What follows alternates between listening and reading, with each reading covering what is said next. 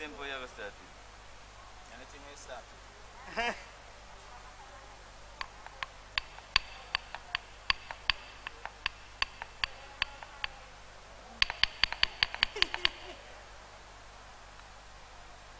You know, say me do Remember it, you know. quality we are start. You know, say me do it, you know.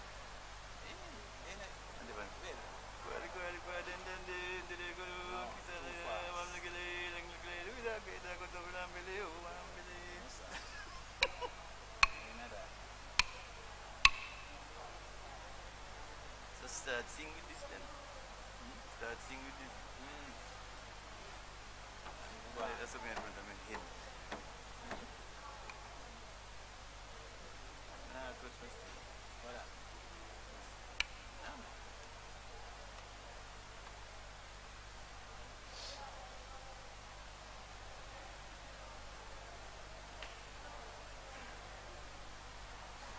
was the other, if it was the other um, drums there, could have played that and played this at the same time. Oh, hey, Up on the side. Yeah. Right up the same sheet.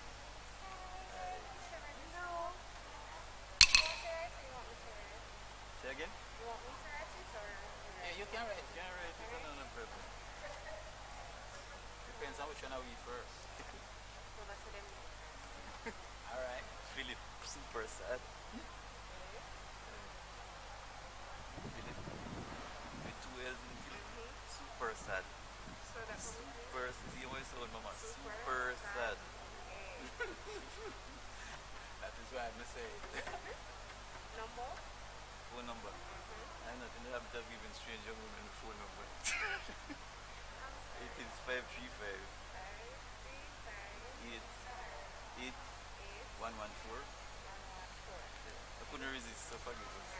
I only can see pieces of me. Yes, please. Complete the picture, please. Paint the picture. Paint the picture. Oh, wonderful. See?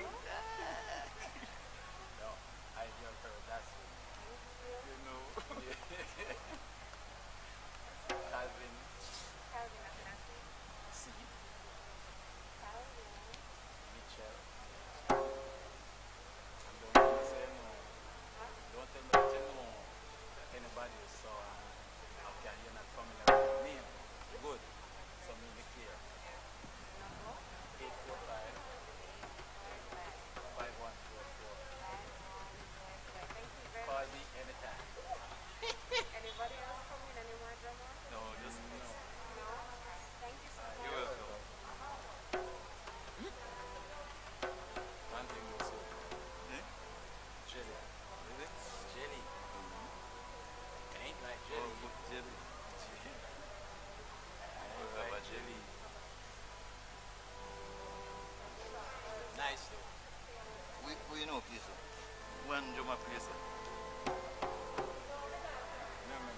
remember me Upper. Oh, upper.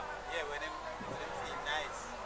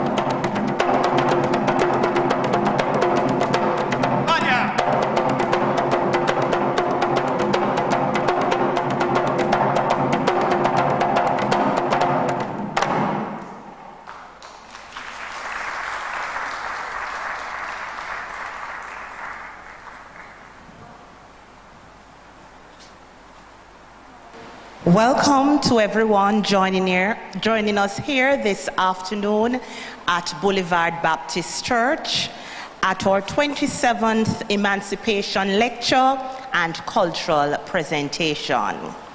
I now invite us to stand as we have the responsive call to worship. The Lord our God is great. Response The Lord is worthy of all praise. Come, let us remember the great things God has done.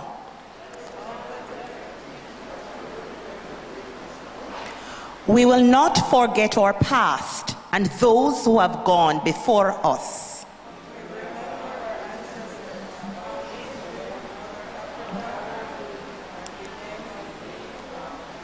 Let us lift our voices in song, our arms in praise, and our hearts in thanksgiving. Let us greet the emancipator God with a hymn of praise. We will remain standing as we lift our voices in praise with our opening hymn, When I Look at the Heavens.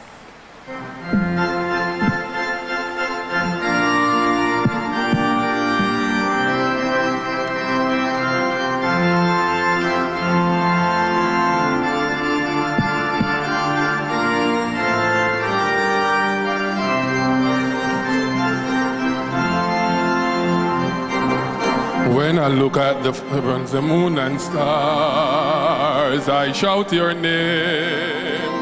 I praise your name, O God. When I look at the oceans, the beast of the seas, I shout your name. I praise your name, O Lord my God. You made humanity a little less than your divinity. O Lord my God, we marvel you are great. You crowned us with your glory and your love. When I look at the flowers, the rain and streams, I shout your name, I praise your name, oh God. When I look at the sunshine, I see your light. I shout your name, I praise your name. Oh Lord my God, you made humanity a little less than your divinity.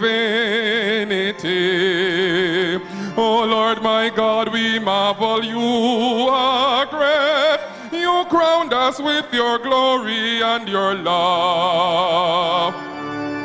When I look at the fields and the bird and trees, I shout your name, I praise your name, oh God. When I look at the mountain, the sky and sea, I shout your name, I praise your name, oh Lord my God, you made humanity a little less than your divinity. Oh Lord my God, we marvel you are great. You crowned us with your glory and your love. You crowned us with your glory and your love. Amen. We'll now have the prayer of adoration and thanksgiving by Reverend Delroy Harris, and our response will be the Lord's Prayer in the traditional folk form. Reverend Harris, you may be seated.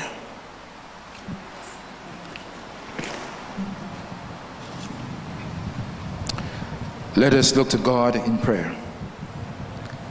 Living and loving God, you are eternal and unchangeable, glorious in holiness, full of love and compassion, abundant in grace and truth. Neither oppression nor captivity can restrain the power of your liberating presence. Neither chain nor whip can undo the power of your healing love. We thank you for the nations of the Caribbean, our peoples, our rich and colorful history, the things that make us unique, and the things that keep us united.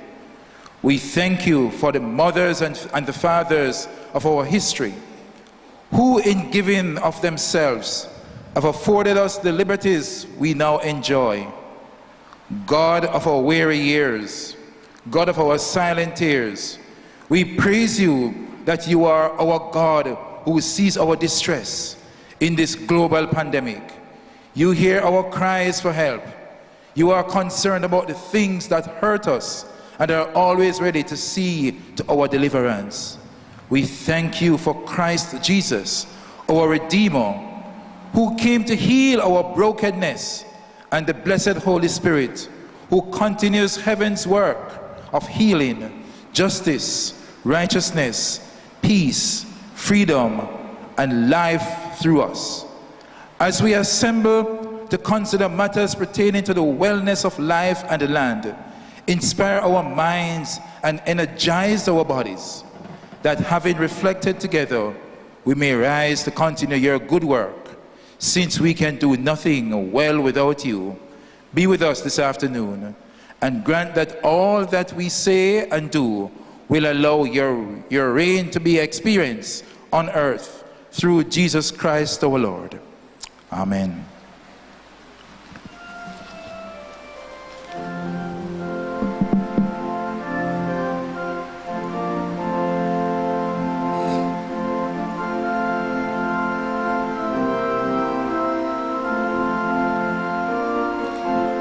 Our Father, who art in heaven, hallowed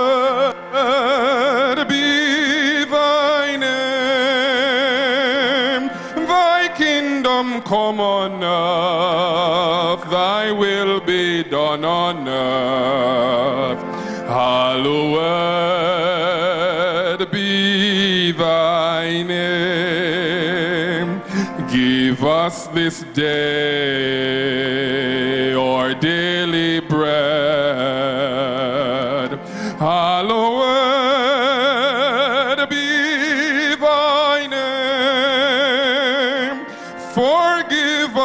when we sin as we forgive others.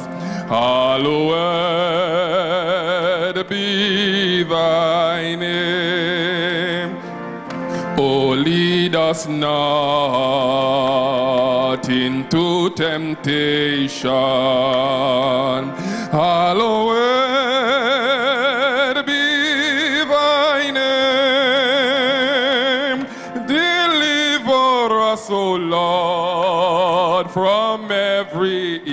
evil. Hallowed be thy name. For thine the kingdom, the power, the glory. Hallowed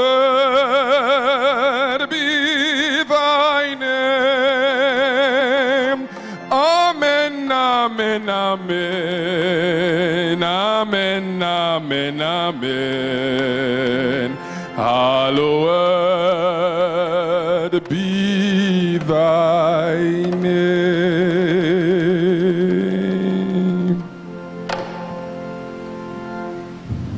Good afternoon, good night, good morning. Welcome to all who have made it here today to be a part of the 27th annual Churches Emancipation Lecture hosted this year by the Boulevard Baptist Church in Jamaica. To those joining us via YouTube, both here and abroad, welcome.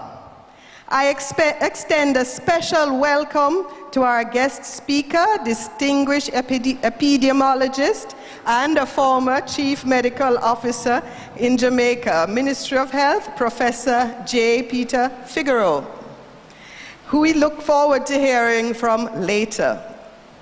In a time of crisis, the Lord spoke to the prophet Isaiah in chapter 42, saying, I will keep you and will make you to be a covenant for the people and a light for the Gentiles to open eyes that are blind, to free captives from prison, and to release from the dungeon those who sit in darkness. It is in line with this mission given to Isaiah to set the captives free that the church's emancipation lecture was born. And the committee has, by God's grace, each year planned these lectures. As I mentioned, we are now at our 27th annual lecture, providing our people with the tools to enable us not only to recognize the historical wrongs or even rights, but to equip us with ways to free us from the chains resulting from the pains of slavery that have bound our minds and immobilized us, preventing us as a people from reaching our full potential. It is by the redemptive power of forgiveness and thanksgiving that we will achieve positive results. The planning committee, consisting of volunteers from the following churches Hope United, Meadowbrook United, Webster Memorial United, Bethel Baptist, Boulevard Baptist, and the United Theological College has worked hard to ensure that in spite of the COVID 19 challenges, the lecture would go on. The annual Church's Emancipation Lectures are delivered at rotating church venues on socially and spiritually relevant topics, reflecting the original theme emancipation, the lesson, and the legacy. As our press release stated, this year these issues are made even more acute by the continuing and widespread public outcry against racism enslavement, and prevailing symbols of racial oppression and colonial domination. Today, we consider matters that have affected us from a medical perspective under the heading Emancipation, Resisting Diseases, Promoting Healthcare. By applying the tools God has given us, there's no doubt that as a people and from a physical and mental perspective, we will say no weapon formed against us shall prosper. Now, as we get into the program, I will only ask that those of us here observe the protocols employed to prevent the spread of COVID 19. Lean back, learn from, and enjoy this afternoon's proceedings. Thank you.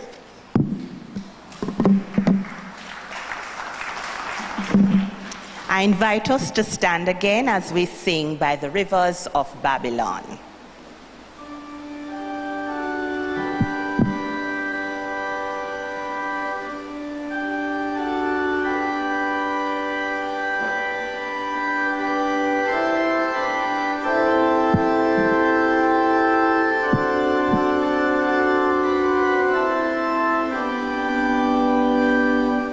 By the rivers of Babylon, there we sat down. Yeah, we wept when we remembered Zion by the rivers of Babylon,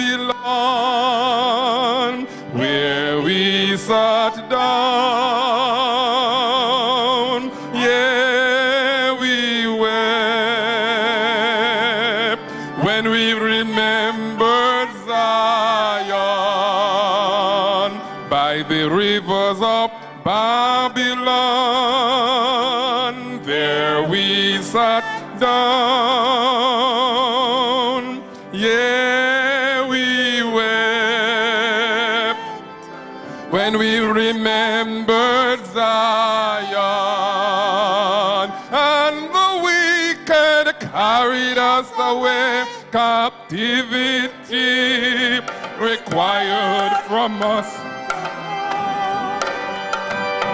How shall we sing the Lord's song in a strange land? By the rivers of Babylon, where we sat down,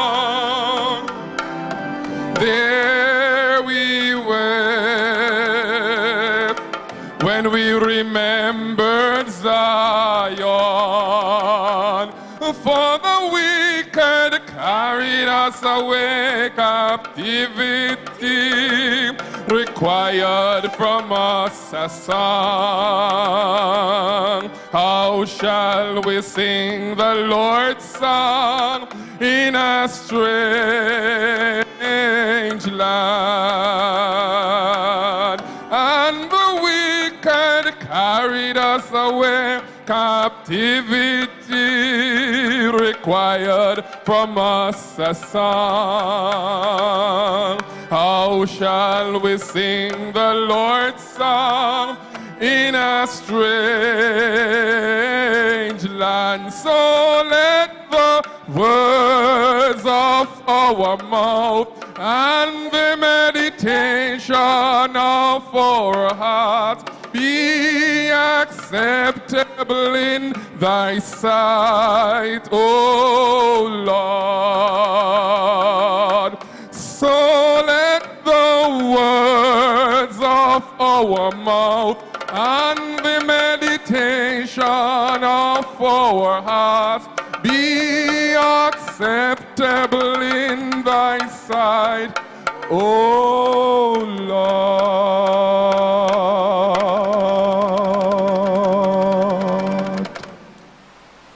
be seated. Our scripture reading comes from Exodus 13, verses 3 to 10. I now invite Kashif Barton from Meadowbrook United Church to bring the word up to bring the scripture reading, after which we'll have a liturgical dance from Boulevard Baptist 95th St. Andrew Girl Guides.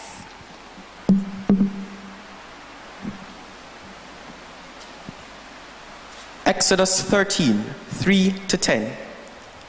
And Moses said unto the people, Remember this day in which ye came out of Egypt, out of the house of bondage.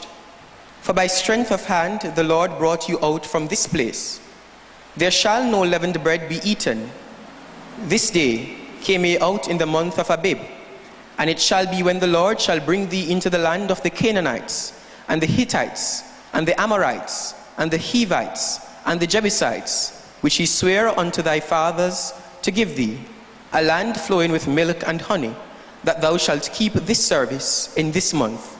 Seven days thou shalt eat unleavened bread, and in the seventh day shall be a feast to the Lord.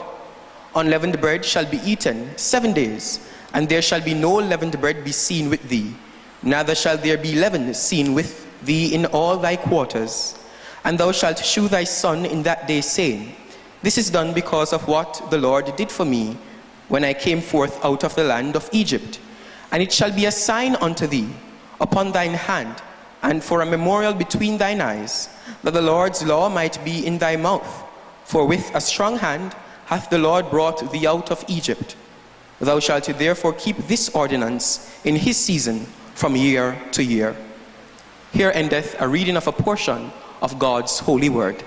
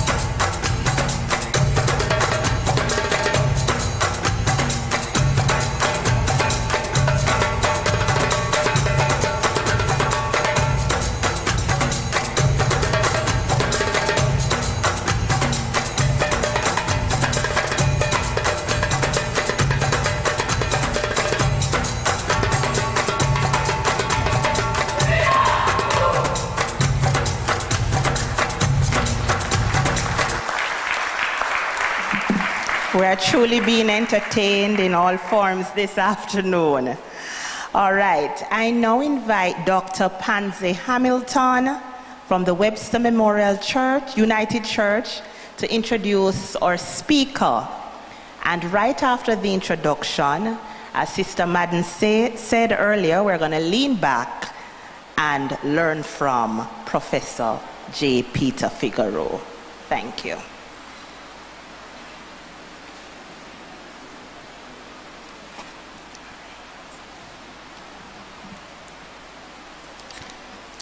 Thank you, Madame Liturgist. Members of the clergy, members of the Emancipation Committee and the participating churches, our live stream audience, ladies and gentlemen. It is my pleasant task to, on behalf of the Church's Emancipation Committee, to introduce our presenter, Professor J. Peter Figueroa, whose work and contribution in the field of health nationally, regionally, and internationally are outstanding. Professor Figueroa is Professor Public Health, Epidemiology, and HIV AIDS at the University of the West Indies. He has a distinctive record of public service in the Ministry of Health as a public health practitioner for over 40 years in various capacities, including national epidemiologist, leader of Jamaica's national HIV program from its outset in 1986 to 2008, principal investigator of the vaccine trials in Jamaica, and chief medical officer. For 18 years, as scientific secretary of the Caribbean Health Research Council, he vigorously promoted health research throughout the Caribbean. It is with much interest and pride that we note that he is engaged in very important work internationally as chair of the PAHO Technical Advisory Group on Vaccine Preventable Diseases and as a member of the WHO SAGE Working Group on COVID 19 and vaccines, the UN AIDS Expert Scientific Panel, and the International Task Force for Disease Eradication. His stellar work has been recognized both nationally and internationally with several awards, including Order of Jamaica in 2008, the Pan Caribbean AIDS Partnership PANCAP Award for Excellence in 2010, and the World Health Organization for Leadership in Global Health in 2019. A prolific researcher, Professor Figueroa has 155 peer-reviewed publications and three books. His extensive expertise and experience in the areas of epidemiology, communicable disease control, HIV and sexually transmitted infections, vaccine preventable disease, and research makes him the perfect fit to deliver this year's lecture in the face of the COVID 19 pandemic. Ladies and gentlemen, we are honored to have Professor Figueroa as our 2020 presenter to address us on a current global issue and concern entitled Resisting Diseases, Promoting Healthcare. Professor J. Peter Figueroa, we welcome you and we anticipate a riveting discourse this afternoon. Thank you.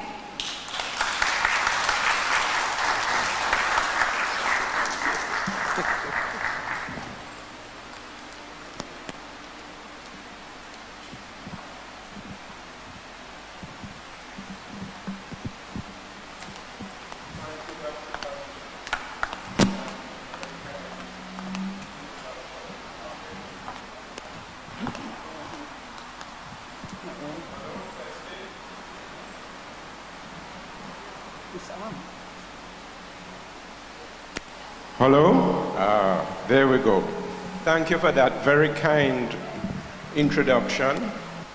And this afternoon, I'd like to begin first by saying how honored I am to be invited to give this presentation and to pay tribute to two great pastors, Reverend Oliver Daly and Reverend Burchell Taylor, who I understand were important in initiating this very significant commemoration of emancipation. The theme that I would like to explore with you is that of the social determinants of health. Health is determined by the social conditions of life. These are the conditions in which people are born, grow, live, work, and age. And these conditions, in turn, are determined by the structural determinants. This is the money, power, and resources at global, national, and local level. So, this is a theme that I want you to bear in mind as I look at disease and health in the context of slavery and its legacy. I'm going to try and put this in historical context, look at the factors contributing to emancipation, and then look at diseases in Jamaica since slavery. So I'm going to start in the Middle Ages. At that time, nearly everybody in Europe saw that all authority was from God. And the Catholic Church was the main religion in Europe.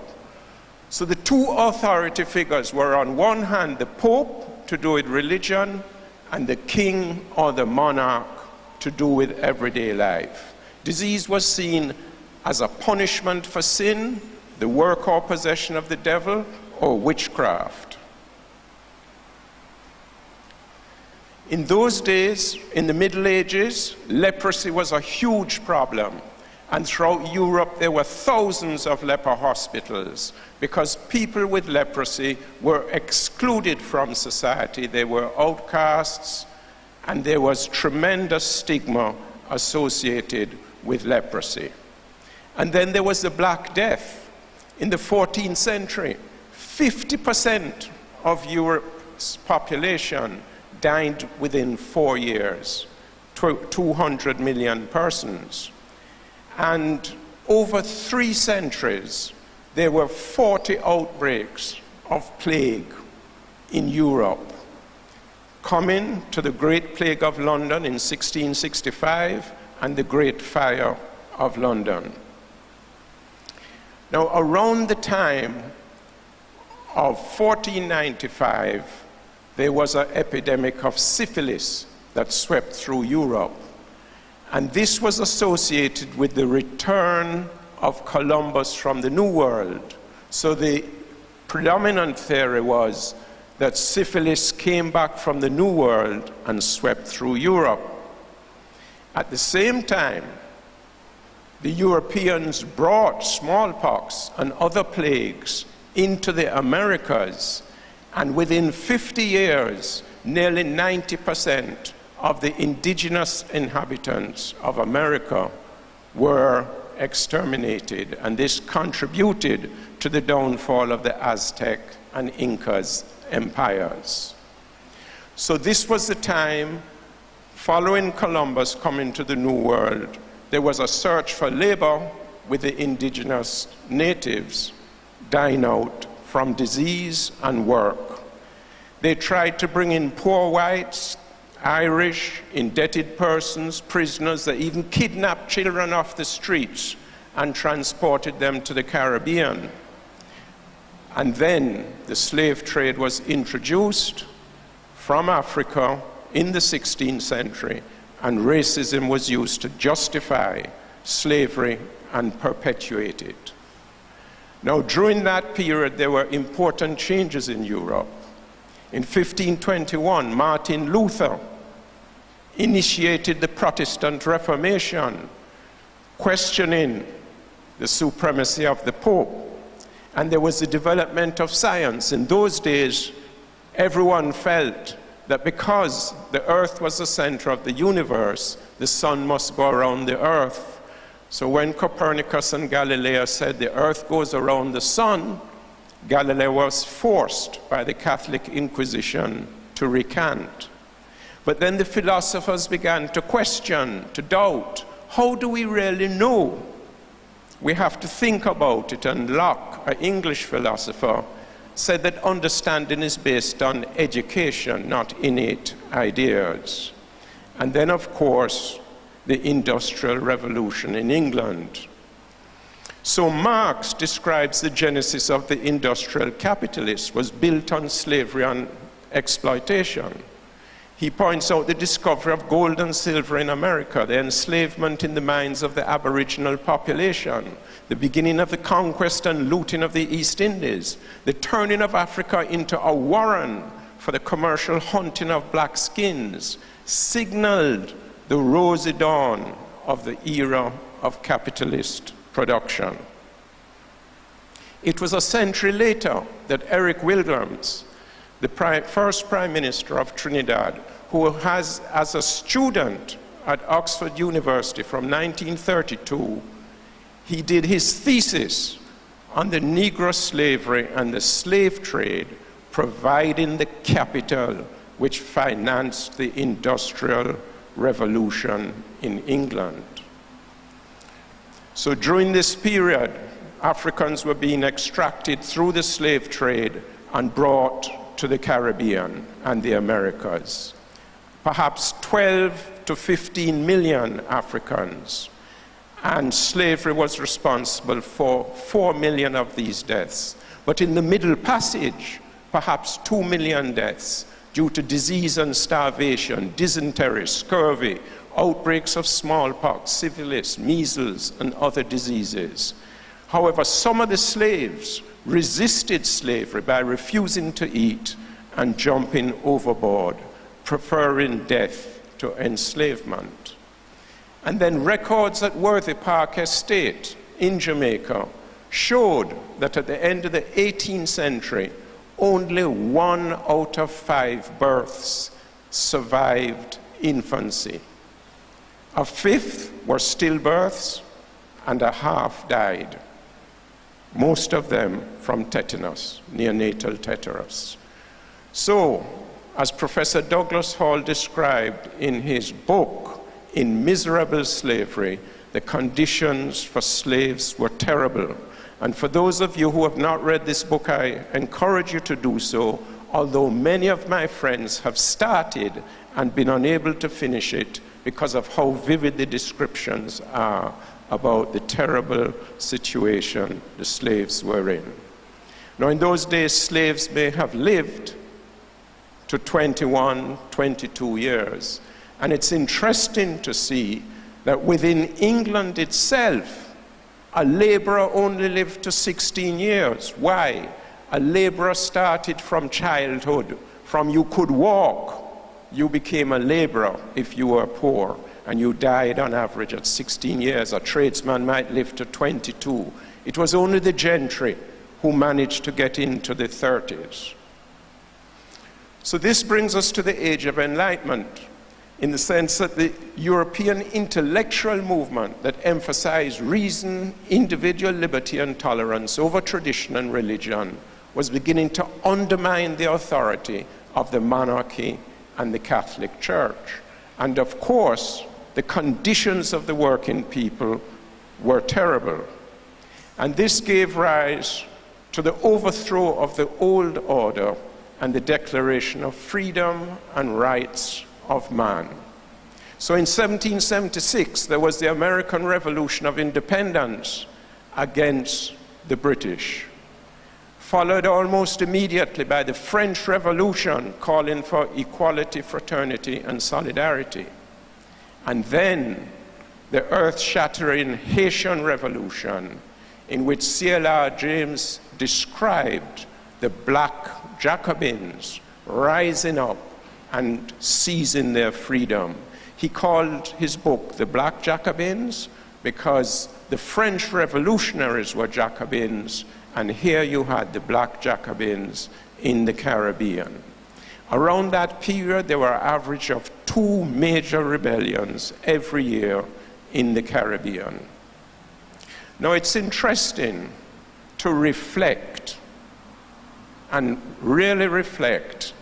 In 1776, the American Declaration of Independence had this to say We hold these truths to be self evident that all men are created equal, that they are endowed by their Creator with certain unalienable rights, that among these are life, liberty, and the pursuit of happiness. Who could disagree with this? But when you look at it, they were not talking about Native Americans or black slaves in America, not even about white women. They were talking about white men. Of the first 12 US presidents, 10 of them owned slaves. George Washington, 317 slaves. Thomas Jefferson, over 600 slaves. So what do we learn from this? You cannot only listen to what is said, no matter how high sounding, you must always search for the truth and the fullness of the truth. The French revolutionaries in 1789, they declared the rights of man. They abolished the rights of the ancient regime. They beheaded the monarchy. And they proclaimed freedom and equality of the individual. Now, what is interesting is that it was perhaps France was the first country in Europe to actually try and initiate public health measures in favor of the working people. They set up local health offices, officers, a national health, a national system of social assistance. So they were trying to meet some of the needs of the working people of the time. Because historical historically, for most of the history of the West, the efforts to combat epidemic disease had not reflected any sense of obligation to the health of the individual. What was at stake was the military, commercial, and cultural welfare of the state, and often the protection of the elites. However, with the Industrial Revolution and the movement of the peasants into the town to work in the factories, the wealthy could not escape contact with the poor, and the spread of contagious disease in these cities was not selective. So increasingly, it dawned on the rich that they could not ignore the plight of the poor. And this brings us to the emancipation in 1834, 1st of August. However, before that, the Haitian slaves had seized the initiative and achieved freedom through the Haitian Revolution. And soon after, in 1794, the French revolutionaries abolished slavery. But when Napoleon defeated the French Revolution in 1802, he restored slavery. And it wasn't until 1848 that France re abolished slavery. Now, following the Civil War, in 1865, the United States abolished slavery. But the southern states rejected abolition. And it is interesting to note that it was not until 1995 that Mississippi took slavery off their legal books. 1995 was yesterday. The abolitionists played an important role in advocating against slavery. The British abolitionists and those in the Caribbean and Jamaica. And they were led by the Baptist missionaries and the local Baptist preachers like Sam Sharpe. We come back to Eric Williams, his book on capitalism and slavery. He showed not only did slavery and the slave trade provide the capital which financed the Industrial Revolution, but also that mature industrial capitalism helped to destroy the slave system. He said that these economic changes were gradual, imperceptible, but they had an irresistible cumulative effect. Men pursuing their interests are rarely aware of the ultimate results of their activity. So the commercial capitalism of the 18th century developed the wealth of Europe by means of slavery and monopoly. And in so doing, it helped to create the industrial capitalism of the 19th century, which turned around and destroyed the power of commercial capitalism, slavery, and all its works. So there were the economic conditions and there were the abolitionists. And Williams said, without a grasp of these economic changes, the history of the period is meaningless. And of course, there were the Haitian Revolution, and that was critical. And Toussaint Louverture was the leader of that revolution. He defeated the local whites, the Spanish, the French, the British. He went to make peace with the French, was kidnapped by them and taken to Europe, and one of his generals, Dessalines, became the first president of Haiti.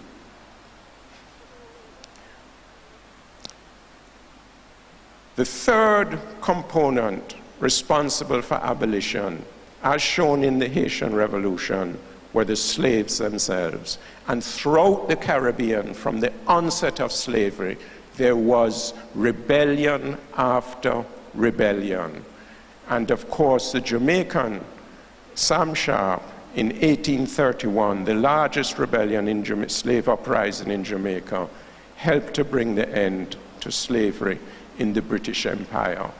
And these are some powerful emancipation monuments from Curacao, Haiti, Jamaica, and Barbados. Some people wonder why Haiti is poor. But Haiti had to pay restitution of 150 million gold francs, equivalent to billions today, in order to get France to recognize them. They then owned huge debts to the US banks. And in 1914, the Marines entered Port au Prince, went into the National Reserve, carried out all the gold, and took it to the National City Bank in New York now Citibank. Of course, Walter Rodney, the Guyanese revolutionary, in his book, How Europe Underdeveloped Slavery, published in 1972, showed how slavery had impacted Africa's development. The imperialist system bears a major responsibility for African economic retardation by draining African wealth. The capitalists of the Western Europe were the ones who actively extended their exploitation from inside Europe to cover the whole of Africa. And then in more recent times, they were joined by the capitalists from the United States. But Rodney goes on to say that none of these remarks are intended to remove the ultimate responsibility for development from the shoulders of Africans. So it brings us to the legacy of slavery. There are negatives and positives, and this should be familiar to us if we reflect on it. Unfortunately, many descendants of slavery are left with self hatred or shame, aggression, violence, abuse of others, what we call bad mind, personality disorder that Freddie Hickling described in Jamaica, disruption of families. But there's also the positive side, the strong pride, self confidence, resilience, and talawa among descendants of the slaves.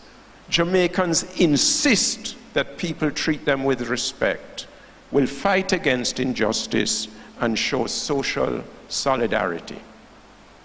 And a psychologist in the United States, Dr. Joy DeGruy, actually describes a post traumatic slave syndrome. We all know about post traumatic stress syndrome, but she points to this multi generational trauma experienced by African Americans.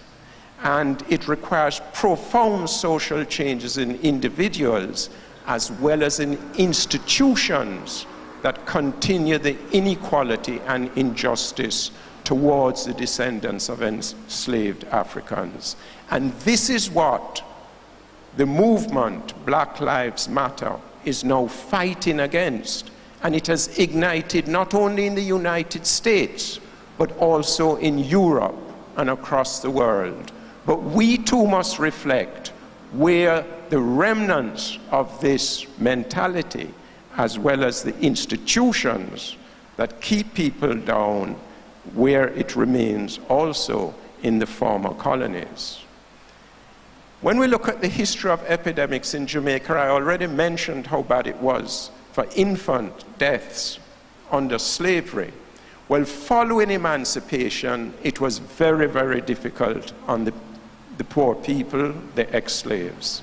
By 1850, a massive epidemic of cholera, 40,000 died. Turn of the century, yellow fever.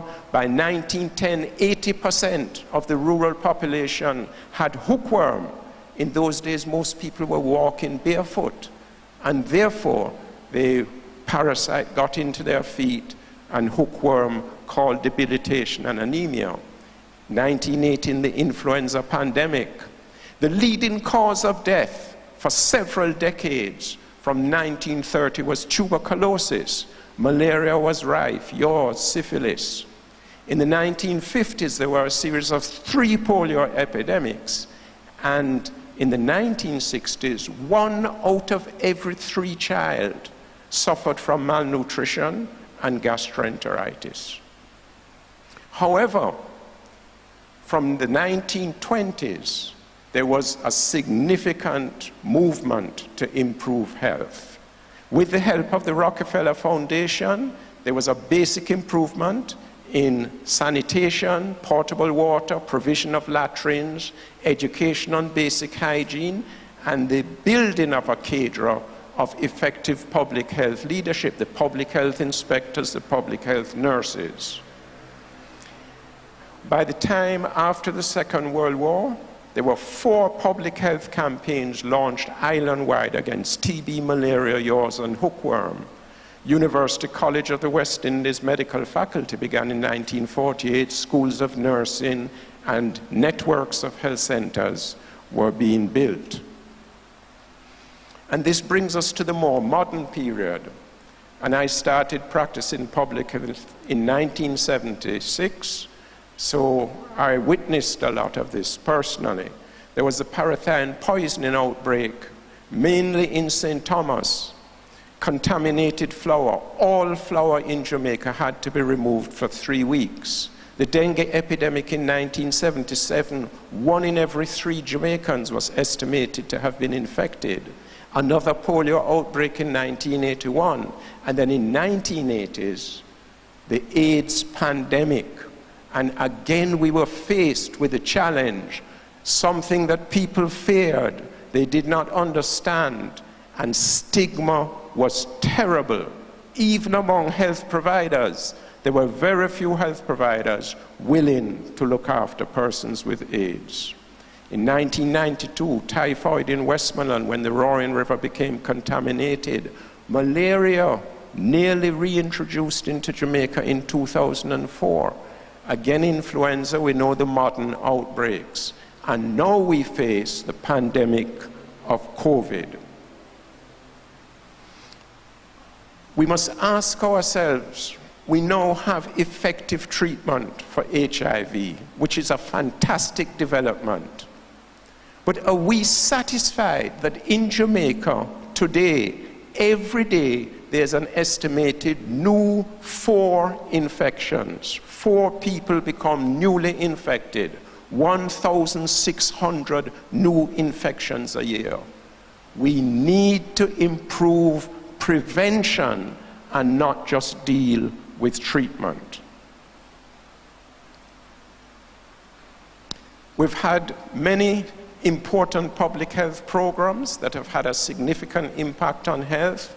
The older one amongst us will remember two is better than too many that brought the total fertility rate down from six children to about just over two. Nutrition was transformed and most of the malnutrition was removed. We now face the problem of obesity. We had oral rehydration therapy for gastroenteritis, transformed dental caries with salt fluoridation. So we've had many solid public health programs. Many people are not aware that the Caribbean has actually led the world in eliminating certain infectious diseases. The Caribbean was the first sub-region to eliminate polio in 1982, measles in 1991, congenital rubella syndrome, and rubella.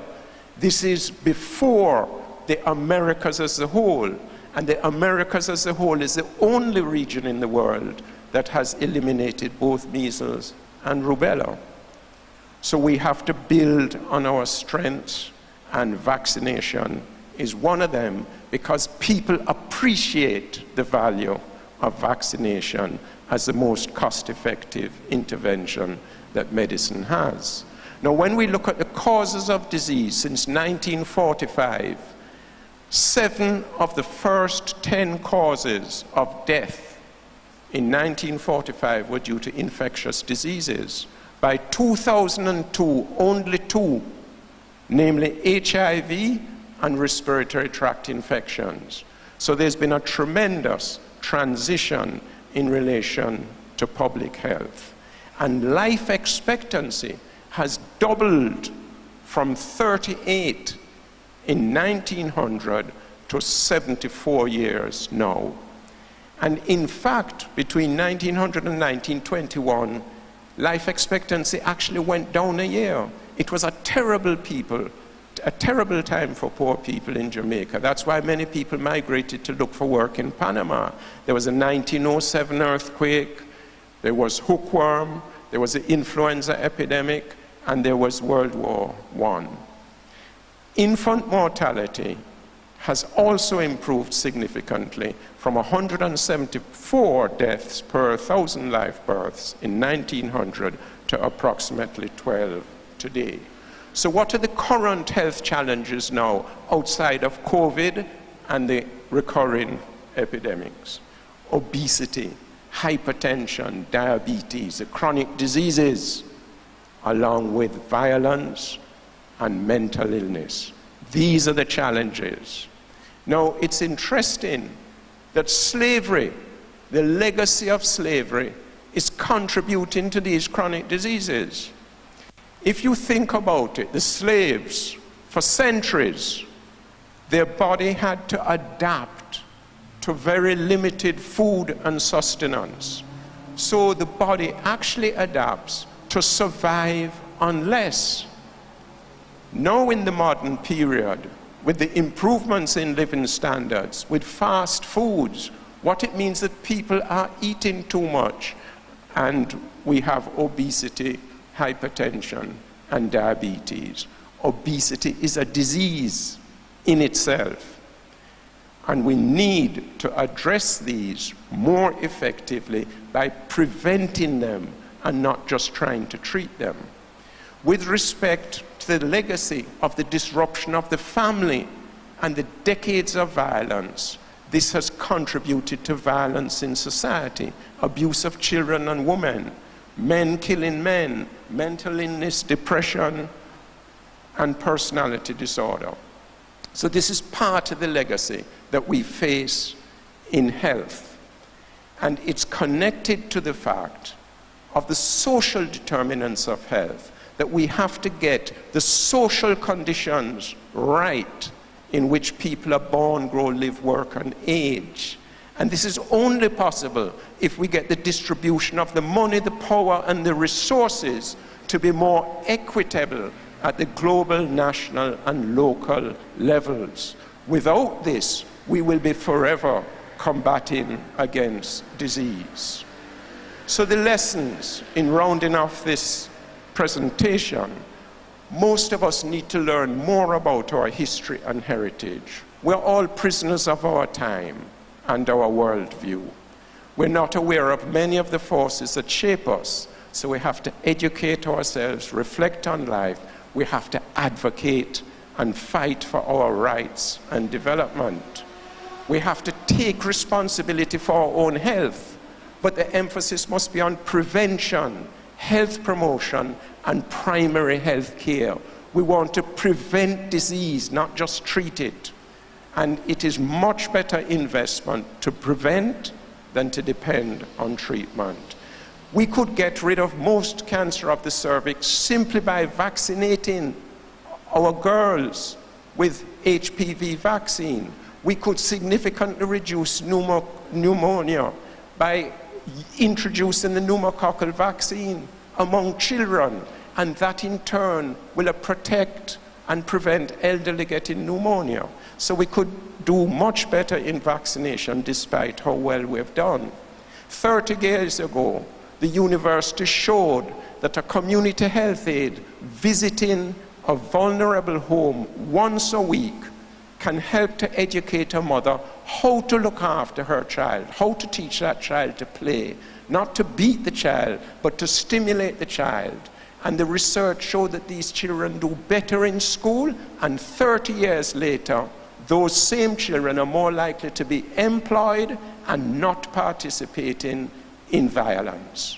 So we need to train more community health aides to help vulnerable homes bring up their children better. Of course, we need to do much better in education, and we need the programs to develop community mental health and primary care. Our leaders have important qualities, that's why they're leaders, but they're not perfect. We must hold them accountable. Power corrupts. Europe grew rich through slavery and colonialism on equal terms of trade. Their policies were enforced by invasion, war, sanctions, threats, loans, propaganda, and subterfuge. Jamaica has experienced all of this. The system of exploitation and oppression remains intact, though it is now more sophisticated. Many people are not even aware of it. Reparations are due. Tons of silver were shipped to Europe to the value of $165 trillion today. Millions of slaves taken from Africa. Belgium's lust for ivory and rubber killed 10 million Congolese. The UK gave compensation to the slave owners of 20 million pounds, worth 200 billion pounds today. The taxpayers in England just finished repaying the loan in 2015. Europe prospered from slavery and the exploitation of its colonies.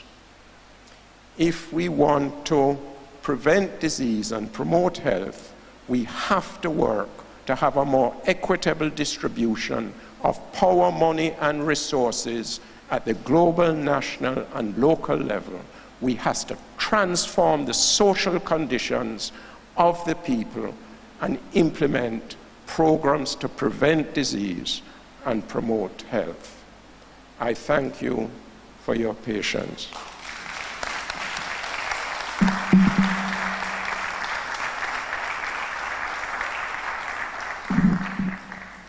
Brothers and sisters, I'm sure you will all,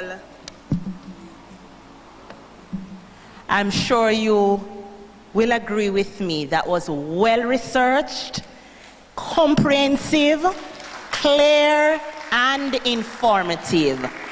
Thank you, Professor Figueroa. Well done. I felt as if I was in history class at a point and when he stopped a while I got the bell rang, and, I, and, and I'm saying, we could continue, no, sir. All right, thank you, thank you, thank you. Uh, I know we now have a cultural item from Miss Cherise Martin from the United Theological College of the West Indies. Her piece is entitled Ancestor on the Auction Block by Vera Bell. This will be followed by the prayer of thanksgiving and intercession. Um, this will be done by Canon Garth Minot, and we will follow in our program the prayer. Ms. Cherise?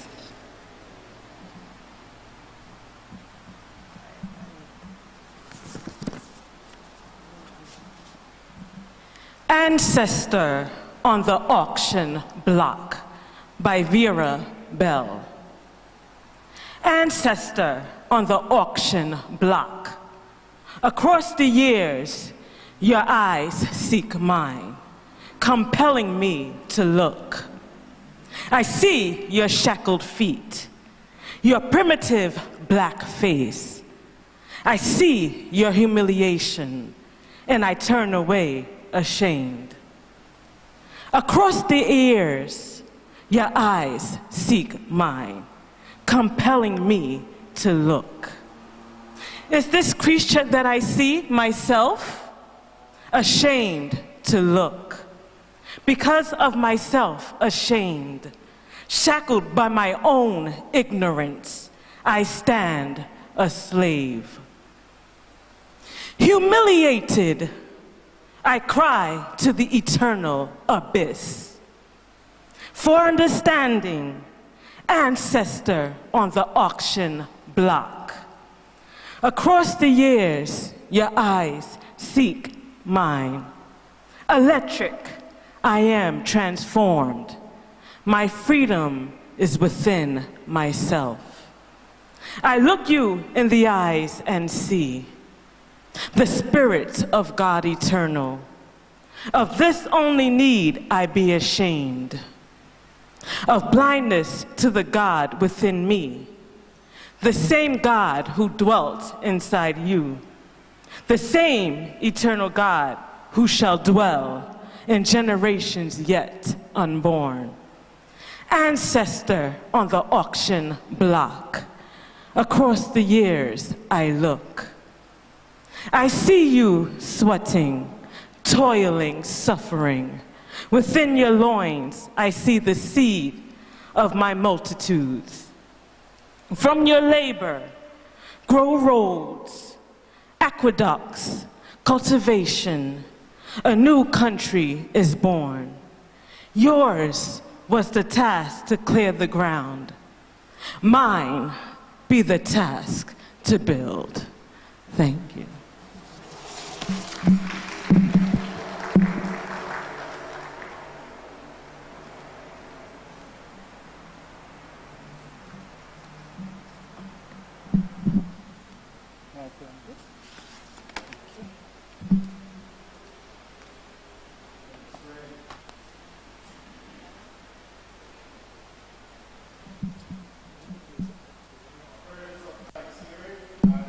Intercession, our prayer of thanksgiving. Gracious God, we are grateful for your grace manifest in your mercies and fully made known in your Son, Jesus Christ. We are grateful during these times of disruption and dislocation in our lives for the grace you give when burdens grow greater. Grief is strong. We are grateful for the strength that you give when troubles increase and are multiplied, yet your grace is multiplied even more. providing God in the world from which we come, we often forget you. Things visible, tangible, and sensual obsess our thoughts, fill our eyes, and preoccupy our hearing that we lose sight and audience of you. God, make real to us in this time the things that are real. Let small things seem small and great things great. So rearrange our lives that we put first things first and allow you to rule in our hearts and in our lives. Convert our ways of selfishness so that we may pass through things temporal without losing sight of things eternal. God, give us grateful hearts. Let us, in everything, give thanks through Jesus Christ, our liberator and our brother. O God of all the nations of the world, we come with prayers of intercessions to praise and glorify you for your goodness and loving kindness toward us. We praise you for your generosity in giving us from the abundance of your bounty. And we glorify you because you are God alone, to whom ultimately we are accountable. We intercede for a world in chaos, in transition, where human life and indeed the life of every living thing is at stake. In these days of challenge, dislocation, fear, uncertainty, anxiety, sickness, and death, we pray for those on the front line who sacrifice their lives on a daily basis to protect and preserve life. Ever loving God, we pray abundant blessings upon these your servants as they serve humanity. We pray for communities and nations at this time suffering as a result of oppression, crime, and violence. May love and care and support overtake and overcome these acts of oppression. Help us to embrace the golden rule of loving our neighbors as ourselves. Ever loving God, give us hearts of compassion and kindness, that coldness and hardness of heart may be replaced with a spirit of generosity and a willingness to sacrifice for the good of others. Hear us, O God, answer our prayer, and never forsake us. We pray in and through the name of Jesus Christ, our Lord and our Savior. Amen.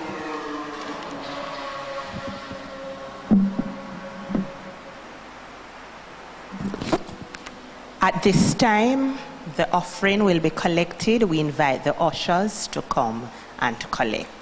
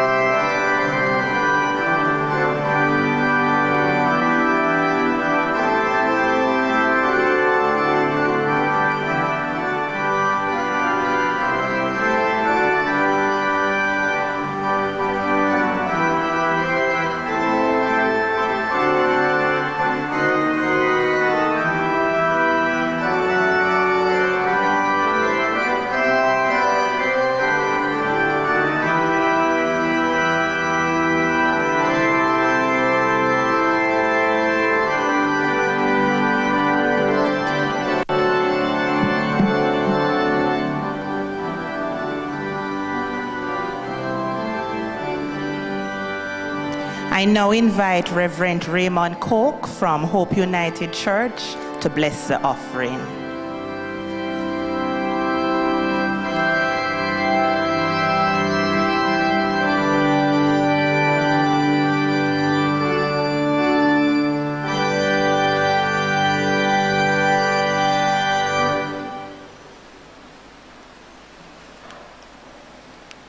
Emancipator God, you journey with us in the past and you have brought us to the present.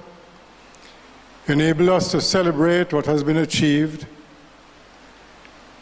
And you are now giving us strength to face the challenges that are present and those to come. We ask you to accept the offering now presented. May you bless them and use them for that which they have been given. Continue to guide us and use us as change agents for the future. Through Jesus Christ our Lord. Amen.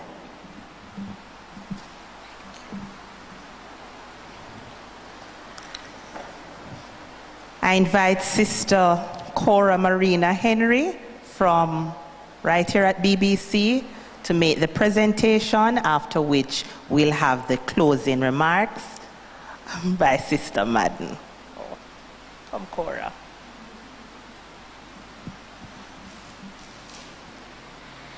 Dr. Figueroa, on behalf of the churches of this 27th Emancipation Lecture, please accept this token of our appreciation for your lecture presentation. It was very informative, timely, and enlightening. We have been challenged based on this lecture to resist diseases, promote good health care, especially during this current COVID 19 pandemic.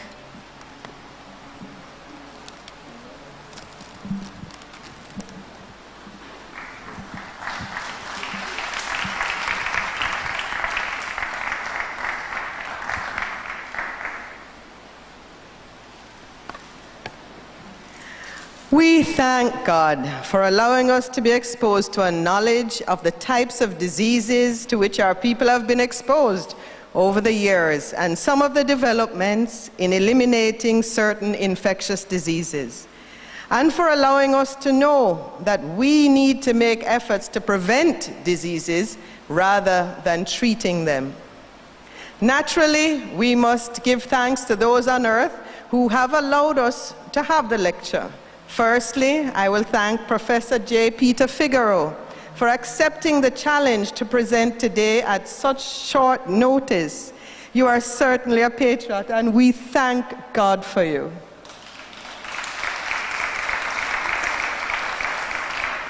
We thank God and pray His blessing on the following sponsors of the annual Churches Emancipation Lecture the National Housing Trust, Carimed Limited, Dennis Grantive, Kingston Bookshop Limited, VTR Engineering Services Limited, Meadowrest Memorial Gardens, and Gian Contractors and Associates Limited. Thank you all so much. I thank the planning committee for their commitment in planning this lecture. It may well be the first ever to be planned almost entirely using technology. All the meetings, comments, minutes, advice, so much so that our beloved Professor Hopeton Dunn, past chairman of the committee, and who is viewing with his wife, Leaf, from Botswana, hi Hopeton, was able to be instrumental in the planning also. The committee took the chance and here we are today. Thank you, committee members.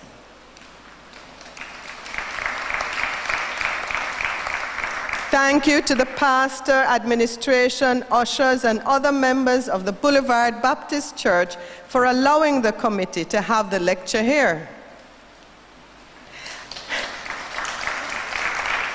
And what would a church's emancipation lecture be without you, who have come in person or via the internet to watch and listen to today's proceedings. You've been a great audience, and may you always be blessed. We'll now have the benediction by the Reverend Dr. Devon Dick.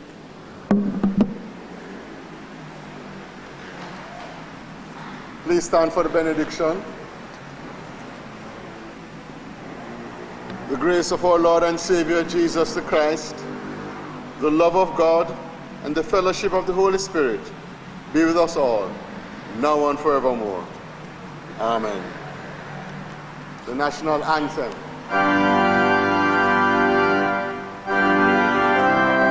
Father, bless our land.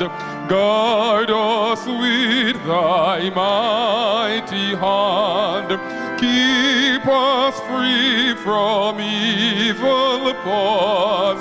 Be your light through countless hours.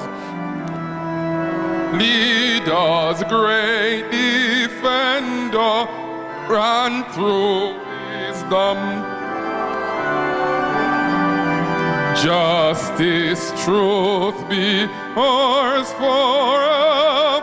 Jamaica, land we love. Jamaica, Jamaica, Jamaica, land we love. Teach us true respect for all, response to duty's call. Us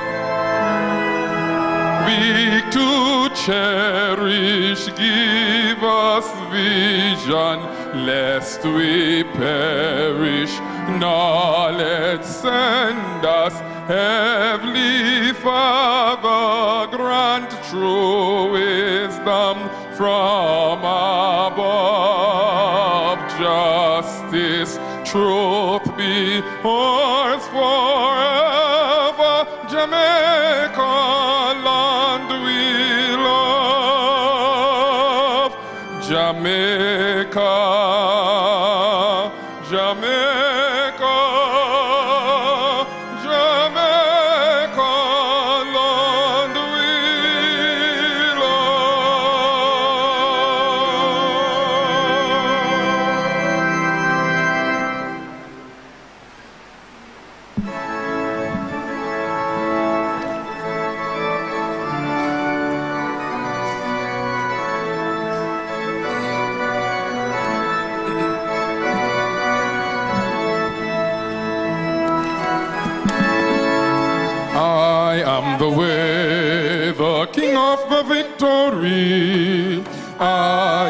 truth, Lord of the harmony.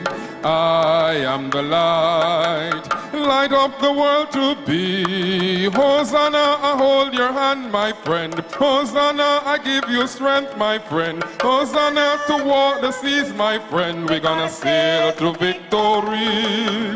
Sailing, sailing, sailing across the river. Sailing, sailing, sailing across the river. Freedom, freedom. Freedom, freedom in the life of Jesus. Hosanna, I hold your hand, my friend. Hosanna, I give you strength, my friend. Hosanna to walk the seas, my friend. We're gonna sail to victory. I am the vine, you shall abide in me. I am the river, you shall be cleansed in me. I am the rock, you shall have life in me. Hosanna, I hold your hand, my friend. Hosanna, I give you strength, my friend. Hosanna to walk the seas, my friend. We're gonna sail to victory.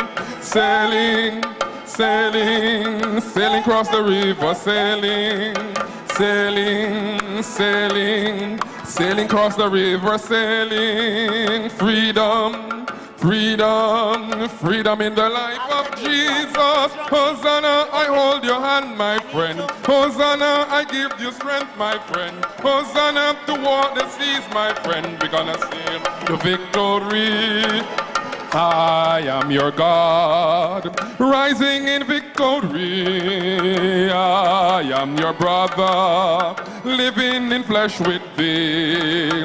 I am your savior, dying on Calvary. Hosanna, I hold your hand, my friend. Hosanna, I give you strength, my friend. Hosanna to walk the seas, my friend. We're gonna sail to victory. Sailing, sailing, sailing across the river, sailing, sailing, sailing, sailing across the river, sailing. Freedom, freedom, freedom in the life of Jesus. Hosanna, I hold your hand, my friend. Hosanna, I give you strength, my friend. Hosanna to walk the seas, my friend. We're gonna sail to victory, sailing, sailing, sailing across the river, sailing, sailing, sailing, sailing across the river, sailing, freedom, freedom, freedom in the life of Jesus. Hosanna, I hold your hand, my friend. Hosanna, I give you strength, my friend. Hosanna to walk the seas, my friend. We're gonna sail to victory. Amen. What a wonderful evening we have had. All right, looking on our programs, we're going to be having the sharing of the tamarind balls. The ushers will give us those goodies. I'm just going to read the significance as we go. What is the significance of the tamarind balls? The tamarind ball suits the celebration as it reminds us of the sour and sweet of the emancipation experience.